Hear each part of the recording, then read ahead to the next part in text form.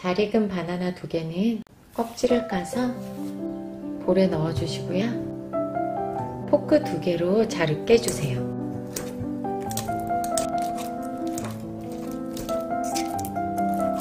계란 두개잘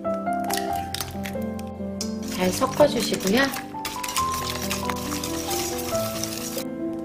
아몬드 가루 반 컵, 베이킹 파우더 3g 이렇게 넣고 잘 섞어 주세요.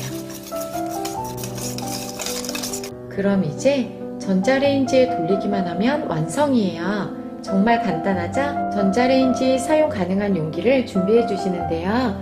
너무 큰 용기에 이 반죽을 한 번에 다 담으면 잘 안 익더라고요. 그래서 저는 안쪽 지름 11cm 길이의 용기랑 너비 10.5cm 길이의 용기에 반죽을 나눠서 넣으니 딱 빠르게 잘 익더라고요. 반죽을 넣어주시고요.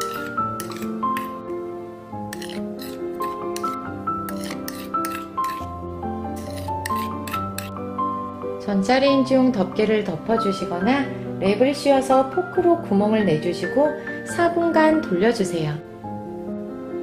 짜잔! 바나나빵이 완성됐어요. 젓가락으로 찔러서 아무것도 묻어나오지 않으면 다 잘 익은 거예요. 이렇게 뒤집어 주시고 한 김 식혀서 잘라줄게요.